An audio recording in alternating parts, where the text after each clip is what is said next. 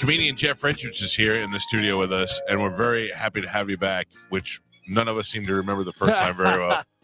I'm telling you, I know that you were on the show because I remember the stuff that we talked about, but it was a long, long time ago. If he was, I think it was before me because I'm a fan of Jeff. no, and- because you told me he was Yeah. on both shows on Mad TV and Saturday Night Live. I did. I was unaware of that. I don't know. Anyway, Jeff how are you, doesn't buddy? remember. Oh, your mic's not on. There you go. How's that? Your mic's still not on. What do we do, Spanish? Hold on. We- Did you put it in something else? yeah, try now.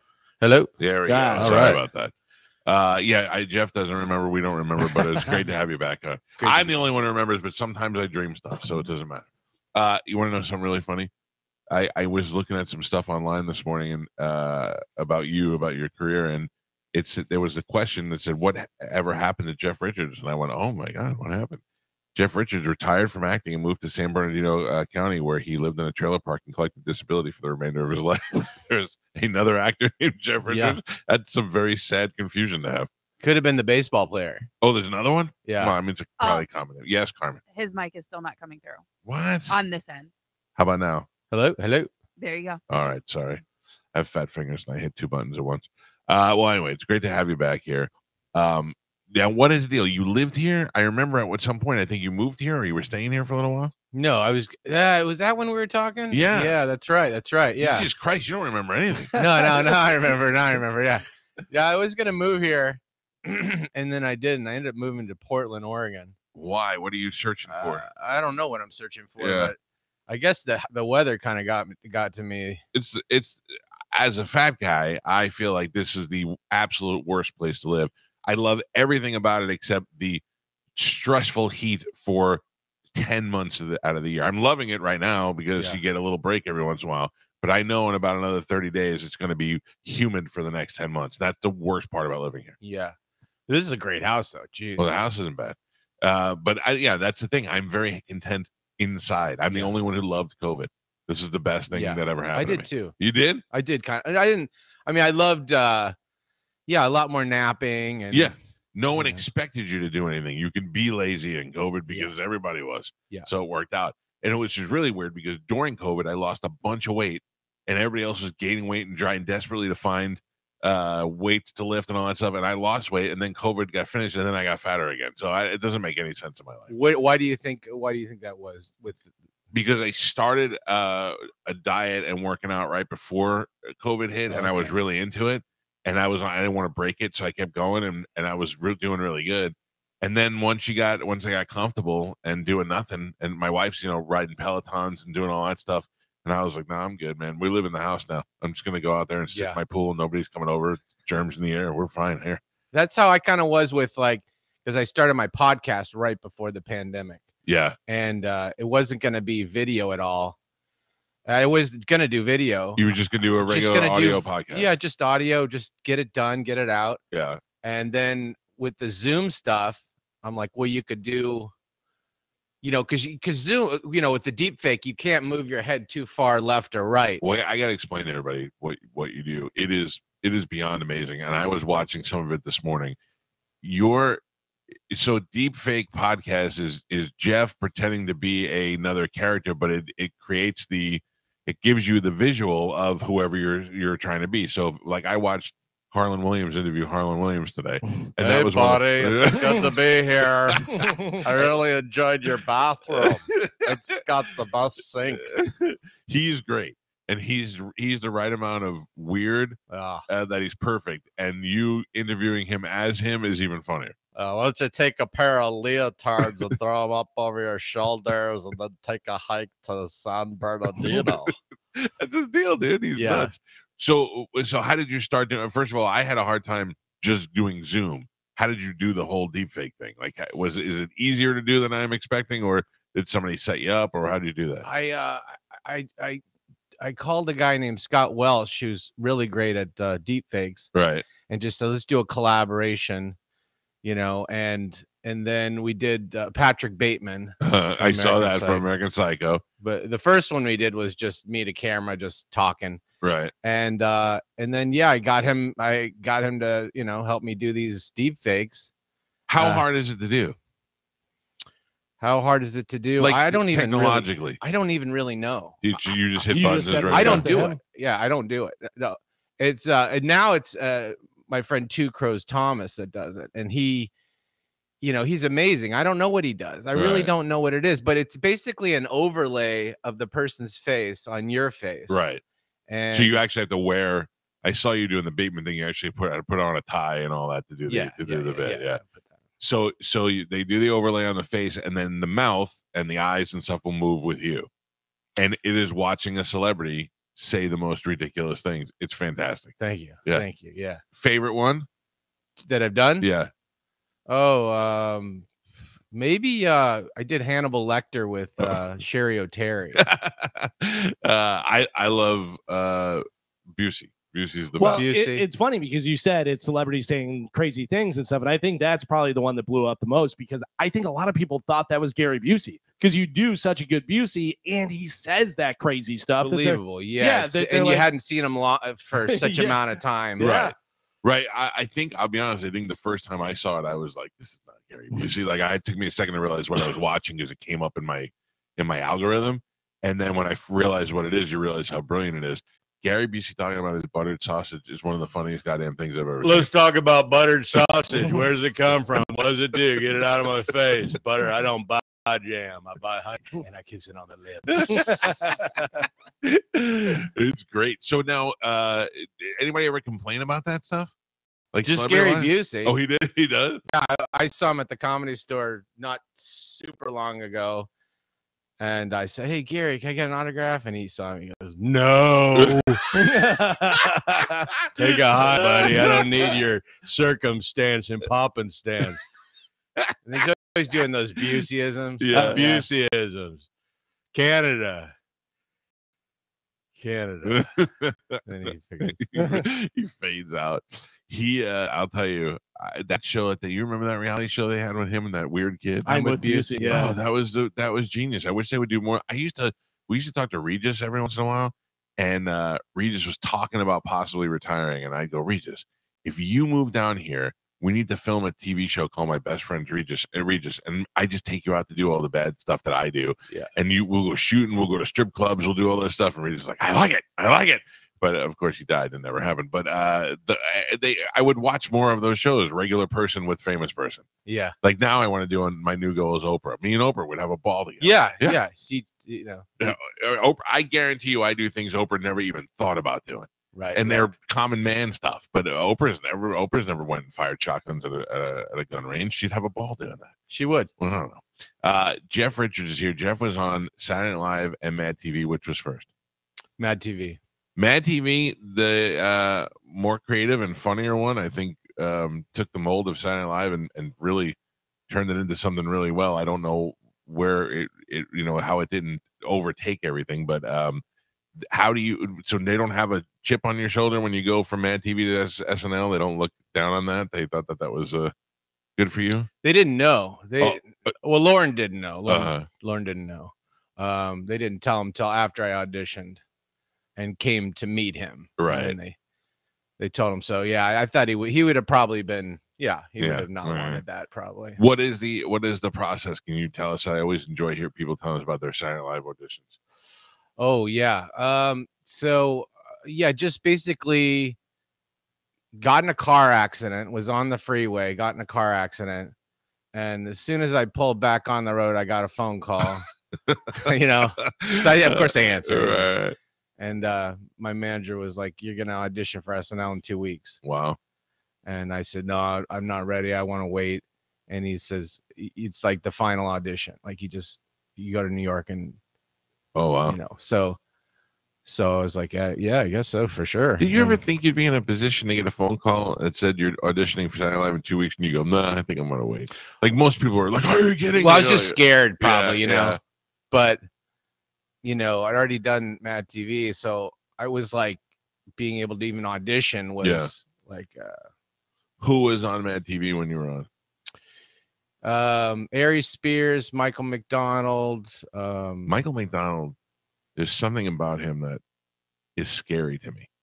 Like he, se- yeah, that he seems. yeah, he'd like be- he knows something you don't know. Yeah, yeah, like like uh w- I don't know him at all a- at, all. Uh, if I woke up tomorrow and TMZ said Michael McDonald arrested bodies of dead children in his basement, I would go, yeah, yeah, that's the guy. I always just looked like he would do that. Stewart? Right. Yeah, yeah, yeah. I, I don't know. I, I don't know him. He's probably a nice guy and all. No, that. he's a nice guy Yeah. for sure. uh, but I just he has that look about him. And then okay, Aries Spears, also another lunatic. Um, Aries Spears left a radio interview. The guy talked about him on the radio and went back and beat the guy up. Really? Yeah, friend of mine in, in Miami. He, they left and uh, we talk crap about Aries Spears, but we know to say it to his face when he's here because we don't want him to have to come back and fight us. because he I've- cannot throw. a Cannot baseball. throw a baseball. I've never seen a grown man, especially a black man, uh, uh, less athletic than Aries Spears is. Uh, nice guy though, great impressions. Yeah. Uh, all right, who else? Uh, by the way, uh, Aries was uh, we wanted to do a deep fake on the show, but uh, he wanted to do um, I can't even remember his name. It's terrible. From from Sopranos. Tony Soprano, the James Gandolfini. Yeah, he does it uh, to see that voice come out of his face is hilarious but we couldn't do it with the with the deep fake. because he's black Yeah, you You- you- couldn't make them all white. okay all it was like because you know it was just Deepfake's racist. yeah. deep fake is racist. he should do a character probably do black tony anyway, but- soprano Yeah, I, I, it'd be great if you could. I mean, because the problem is, is with the with the deep fake, it's like all the images, the high high def images of the person. Those are what's used. right So it's all as many as those are out there. So Okay. it, it's uh, and then and then you think there'd be a million of him, right right but then there's not No. necessarily a million of him. You know. that's interesting uh all right so uh so back to your snl thing you got two weeks to do it what do they tell you to prepare Just five minutes. five minutes of stand up Five minutes of impressions, characters, impressions yeah. okay and what'd you roll in with what what was your what were you most proud of Oh, I don't know. Um, Letterman. I did Letterman. you did that Nice, really good to have you here. you would hope at some point, I don't know when, at some point, I could get another cup of coffee. that's, that's pretty good. Did you uh did you ever hear the um evil David Letterman yeah, yeah. from Stern Show?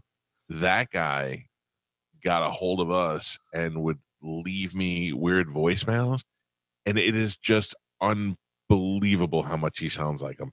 Like just in a casual, oh hey, uh, Mike, uh, listening from Chicago, and and he would just do it, and, and it's so weird how much he sounded like him. It was Yeah. amazing. He, he- Letterman's a great one because he's so such a great conversationalist. So Yeah. you can say kind of anything. You know, like it, you, you would hope. And and this is this is the this is the basic. So I don't know. Uh, well, and and then and then the guy says to me, "Do you want a, a crescent roll?" to this day, I still, even with my kids, if I'm helping them with their homework, and I go, all right, let me look at this, and I go, z, z, z, that's all Letterman. That's all from watching him. Zoopity dippity doo. Uh, anytime I pause and I sing, it's all from watching that show. yeah. Um. All right. So you do, and and uh, and they love you right away. Do you? Is it like they say where you don't hear any emotion, you don't hear any laughter? I did anything? hear a few laughs. You did? There's like eight people out there. Okay. It's like Tina Fey, Lorne Michaels, uh, Paula Pell, Steve Higgins. Um, yeah. So I did hear a little bit. So I was standing there. I finished, and no one said anything to me. So I just said, "Okay, see you later."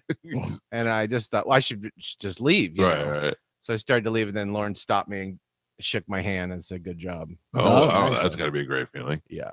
Yeah. So so after you get that, when you leave that, like you have the best dinner that night and call your friends and be like, I I, I Lorne shook my hand. Uh, yeah, yeah. I was just like that was enough. Yeah. in a way. I Yeah. mean, I really wanted it, but that was like I did all I could do. Yeah. But did it. they confirm that you got the job? Because No. I yeah, that's what I always hear is that that people are like they're like, hey, good job, whatever, and then you just okay, did I get it or what is going on? And Yeah, kind of leave you hanging. left me hanging. Except for the handshake, I thought, well, that's a pretty good, Right. right, good right, thing. You probably don't do that all the time. And when do they let you know that you got it? well, then they you fly fly to New York again, uh, like a week later to meet Lorne. Uh-huh. So, and then even when I met him, I didn't know. I was like, you know, I said, I thought I'd ask him a question to see if I. So he's he's like, so what do your parents do, or where you you know? Mhm. And then I I just said, so uh, am I gonna get my own computer? and he goes, yeah. Yeah. You'll get your own." Did he get that you were being funny, or did he just because he seems like such an odd guy? I mean, he must have known I was probing for an answer. you know? That's great. That is so. That is great, man. And did you did you love going there? Like I, I remember when I worked at the radio station when I was a kid for the first time. I used to say I would do this for free. I would come in here every day just to be in this building and do it. And I'd been on Saturday Night Live set a couple of times, and just the magic that's there, you feel it. I mean, that had to be that had to be awesome. Yeah, it was a lot. It was really good. Who who who? What years? Like what did you like? Who were your office mates and that kind of stuff? Um, Slovin and Allen, Eric Slovin, Okay. Leo Allen. Um, uh, was my first two years. Oh, uh, Max Brooks was my first roommate. Right. Uh, Mel Brooks' son. Oh wow. Um, and then Is he and then funny I- or is he there because he's Mel Brooks? Son? He's funny. You know, it's just he was a little different than the show. He- You know, he's writes books more than sketches, but right. but uh, a good guy. And um, and that then then I had my own office the third year. And who is doing news this time? This is how I can f- try to figure out in my head where I was. Tina Fey and Jimmy Fallon. Oh, so you were there for you were there. Ah, I the did. good stuff. Hey, Jimmy Fallon, you know. Uh, Hey, hey, dude. it's the most incredible thing in the whole world. I can't believe I'm here. All I right. love- I love it. Do you know now? Uh, who do you want to do? Like how I feel like when you do the deep fake, the voice doesn't have to be that. As long as you get the gist of who you're doing. Right. anybody you're working on that you can't get or that you're uh, trying to work on? I'm work trying on. to do a Jordan Peterson. oh, yeah, I watched your Jordan Peterson. it was funny. Yeah. it's Yeah. So, so You know, he goes, "What are you gonna do?" He goes, "I want to eat meat." I, eh, but, but but that's, that's can I swear or no? No, No, no, no swearing. I, eh, because I can't I can't go to the bathroom because I eat meat, but then I can't go again. But then I eat more meat. Now, now, uh, if I end up getting too personal, but if you do these things, uh, and uh, are we monetizing this? Is it working out well, or, or Just uh yeah, in the last year I Yeah. started to monetize a little bit. Um, but yeah, just trying to get the subscribers and that's build it up because I never never really did much to my YouTube up Yeah. until three years ago. That's what we we just uh, started revamping our YouTube too, just because we never we do a video component on this show along with the radio. And I'm like, I got enough to worry about, let alone YouTube. So I have somebody else doing that now. So hopefully, hopefully we can get up to speed. But yeah, that is that seems to be where the action's at. And then you, I I remember in the beginning, Harland Williams was the first person I told. He was talking about his podcast, and I go. How long have you been doing this podcast? He's like, oh, like three years. And I go, you making money off it? He goes, no. I go, then why are you doing it? I go, it's a, it's a waste of time.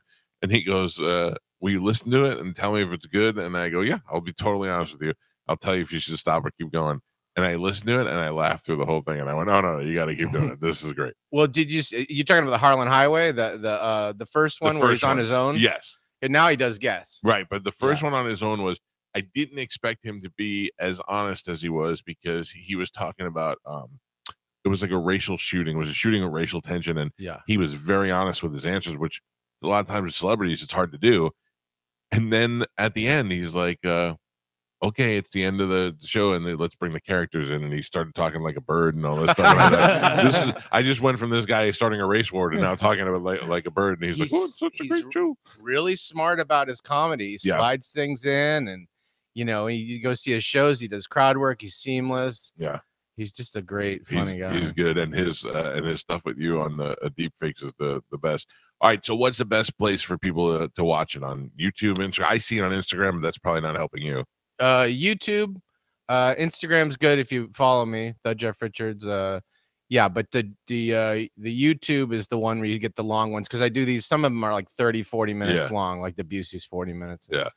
Um, which I just did recently with Trump, um, John DiDomenico, and but uh yeah, so that's pretty much it, you know, the YouTube and and that's pretty much What is it. what is it, Jeff? Just search Jeff Richards. uh the Jeff Richards show. Jeff yeah. Richards show. Okay. And uh, and what are you doing outside of that? What else are you working on? Anything? I did a, a, couple movies last year. Uh, one I had the lead in. That's going to come out this year. what is that? It's called Pay to Die. Uh-huh. It's a horror comedy movie Nice. from Sean C. Phillips and Lauren and Francesca. Um, yeah, so just waiting for that to come out.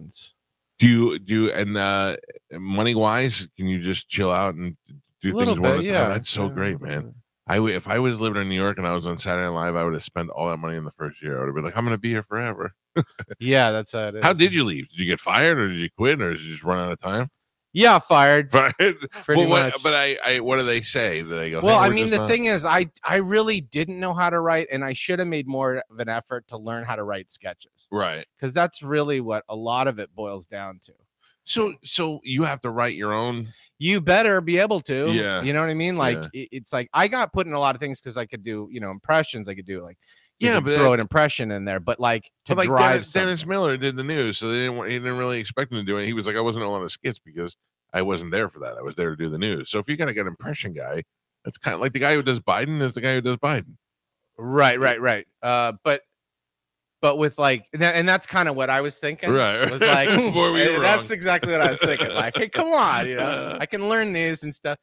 But um, but yeah, that's what I was thinking. Like Darrell Hammond, uh, that that role. Right. But I should have just got more ambitious and worked probably a lot harder. Yeah. But Yeah, I've heard David Spade talk about it, and he said he was a you know like a middle act at the time whenever he got it, and he goes, I just did stand up, I never did sketches, and they just gave me a legal pad and said, and here, go write stuff, and he's like, nobody helps you, nobody tells you what to do. that's got to Yeah. be a weird environment. Yeah, Yeah. I I would love to observe one day, just watch a day in the life of that Saturday Night Live. Yeah, I, it, it's uh, it's just the best and it's just the worst sometimes. Yeah. I mean, it's just there's no other way to put it. It's So uh Ralphie May was a comedian who was a good friend of ours, and I'd I'd be hanging out with Ralphie and he'd have to do a show later. And one day I looked at him and I go, Do you ever get nervous like the day of the show? And and he looked at me, he goes, Do you ever get nervous when you're about to do your radio show? I go, No. He goes, Of course not. He goes, I get excited, but I'm not nervous about it. And I thought, yeah, that's the point where I live now where to, like last night I was watching Jeopardy and I'm like, I'm going to bed after this. I'm tired. And, I, and I'll figure out the show later on or tomorrow or whatever. And I don't worry about it. But um if I had goddamn Saturday Night Live, I don't think I'd ever get a breather. I mean, every show when one's over, you got to start worrying about the next one. yeah, and you just run out of ideas the Yeah. longer you're there. Yeah, You know, you go through all your all your good ideas early, and yeah, it's it's it's it's tough. You know, it's really a tough place unless you you know unless you come from sketch, which I Then didn't really have come from. background. If you in learn how to do it, well, and you have some practice in it for a while, you know, because I was pretty fresh out of the gate getting that show. that's pretty. That's pretty awesome, though. I mean, you got both. You got both of them. You know. yeah, And was Mad TV better? A better experience? no, Really? no, Why? Why? Same kind of thing, Yeah. like just not knowing at all how to write, Right. and just bopping around to office and office and being obnoxious. Probably. Uh, so th- is that what you got you there to the impressions on, on Yeah, TV? so. uh, Artie Lange said when they wanted to be a character, they would give him a cassette tape, and he'd have to go home and listen to it over and over again to try and get the impression. Yeah, Is that ba- that's how they do it? sometimes, yeah. That's like when I did Bill O'Reilly, they gave me a tape and said, you know, try to learn this one. Yeah, Some of them come quick. yeah. Caution, you're about to enter no spin zone. In fact, it begins in 30 seconds. uh, well, I'm telling you right now, the deep fake interviews are some of the best stuff on the internet.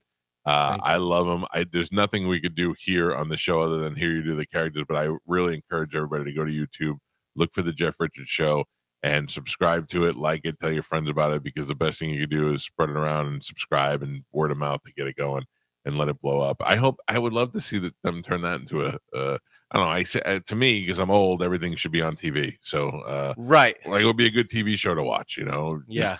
a fake interview uh, t- type thing every night, or a Yeah. segment on on on a news show or something. Yeah, they get a little weird about it on TV because I did uh I did Robert Downey Jr. deep fake on Lights Out with David Spade. Uh-huh. So he interviewed me as and they that was a whole thing like back and forth at Comedy Central. Like, should we do it? Should we not do it? Because it's still it's like a gray area with a little bit. They should do it, of course, and they did do it. Yeah, I mean, you can put up a little a little disclaimer before or after. Yeah. I mean, that is that what they're worried about? If getting in trouble? I don't know. Like, yeah, that's just that gray area of like it is someone's likeness, even though it's parody. Yeah, You know. Um, but yeah, we ended up doing it, but yeah. Well, that's kind of the hurdle, you know.